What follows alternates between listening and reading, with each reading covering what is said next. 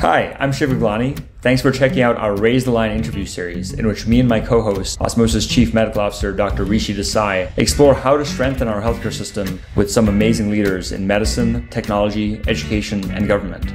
And they have some great advice for people starting careers in healthcare as well.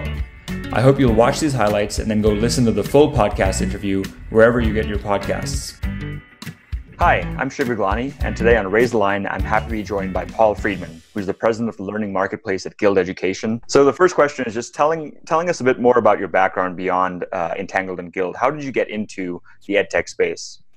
Yeah, so so I've been in the education space since you know I was born, maybe before I was born. My my, my parents were uh, both worked in higher education. My father was a physics professor. My mother uh, worked in, in administration in college campuses, and I kind of grew up in an education environment. Um, uh, and it, during that experience, I developed a great passion for what I think education is about at the end of the day, which is just changing somebody's expectations of what they can accomplish. You know, as soon as somebody gets an education past what they expected themselves or what society expected of them, it opens up a whole new world of, of possibilities. And so professionally, I've been, um, you know, I've always done things um, starting at, with the company I started out of college that lowered costs, increased efficacy, um, uh, or expanded the access to, to, to high quality education. You know, we tend to have a, a really uh, broad audience of uh, current and future healthcare professionals.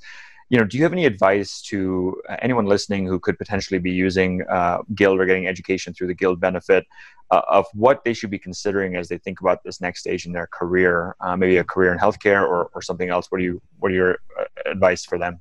Well, first of all, is, is it's you know it, if as you're thinking about join, if you don't have an education yet, a one a, a, great way to get one is to go find an employer who provides very um, uh, generous educational benefits, either with Guild or elsewhere, and work for them while they pay for your education. So, it, you know, if you want a debt-free education, uh, go get a job to, to, to go to college. Um, and there's you know there's plenty of institutions um, uh, you know, Walmart, Chipotle, uh, Lowe's, uh, and you know other guild partners um, who who would be happy to have you work there while you're while you're while you're learning a healthcare field. Um, uh, second thing is is I encourage you know for those who have ambitions to work in health healthcare, do it. I mean, it's it's, it's incredibly important um, uh, job. Um, it's one that our society is going to need more of, and it's one that where you have an opportunity to make an impact. You know, obviously in people's lives, and one that you also have an opportunity to um, uh, provide economic stability for yourselves, your family, and your community. So uh, if you're thinking about doing it, if you're doing it, keep it up because the work is, is heroic.